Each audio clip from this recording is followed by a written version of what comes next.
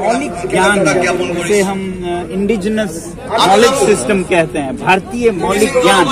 इसकी हमें कद्र करनी चाहिए इसका महत्व समझना चाहिए और इसे संजोए रखना चाहिए इन लोगों के लिए नहीं पूरे भारतवर्ष के लिए। क्योंकि ये भारत की संपदा है। अगर दुनिया को दिखाने लायक है तो वो मुंबई और दिल्ली के चंद लाखपति और करोड़पति नहीं है उनके वजह से ये सब हो रहा है। तो यहाँ की जो सादगी है उसको हमें दुनिया को दिखाने लायक समझना चाहिए। नई पीढ़ी के लिए तो क्या कहना चाहिए नई पीढ़ी के लिए।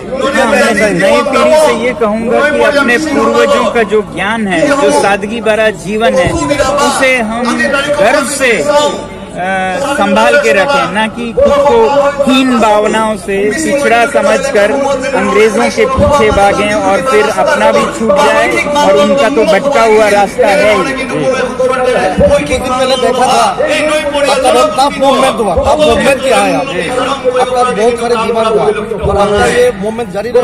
किया ये सब जो जनजातीय संस्कृतियाँ हैं, उनको बचाने के बारे में हमारे वहाँ पर पर्वतों को ग्लेशियर्स को कैसे बचाएँ? लोगों को ये संरक्षण जो भारतीय संविधान में है सिक्स शेड्यूल में, वो कैसे मिले? जिसका कि हमसे वादा किया गया था तो इस बारे में था। ऐसे ही हिमालय की तरह जंगलों के नदियों का हर पर्यावरण को संजोए रखना चाहिए, बचाए रखना चाहिए।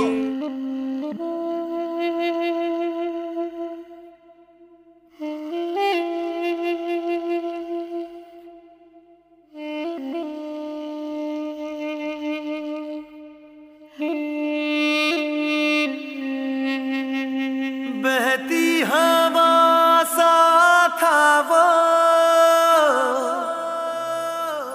उड़ती पतंग सा था वो कहाँ गया उसे ढूंढो।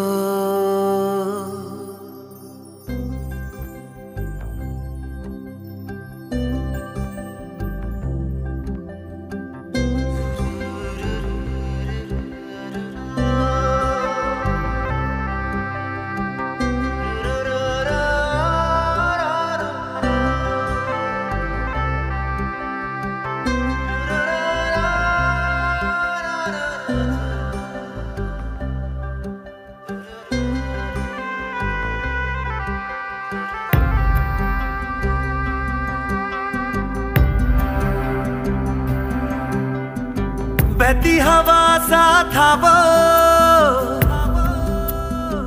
उड़ती पतंग सा था वो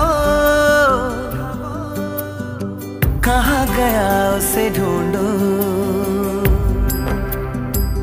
हम्म, हमको तो राहें थी चलाती वो खुद अपनी राह बनाता गिरता संभलता मस्ती में चलता था वो।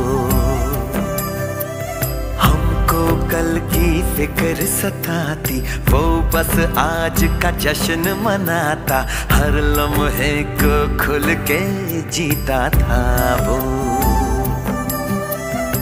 कहाँ से आया था वो?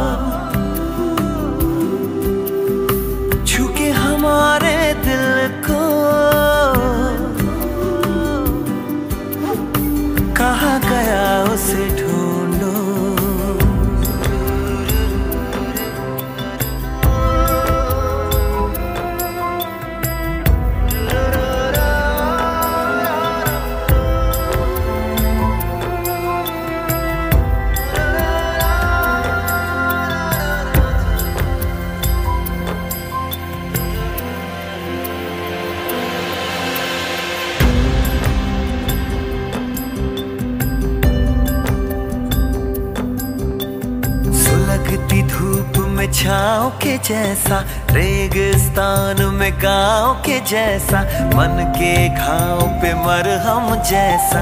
था वो। हम सहमे से रहते कुएँ में, वो नदिया में गोते लगाता, उल्टी धारा चीर के तैरता था वो। बादल बारा हमारा था वो। कहाँ गया उसे ढूंढू? हमको तो राहें थी चलाती, वो खुद अपनी राह बनाता, गिरता, संभलता, मस्ती में चलता था वो। हमको कल की फ़िक्र सताती, वो बस आज का जश्न मनाता, हर लम्हे को खुल के जीता था वो। कहाँ से वो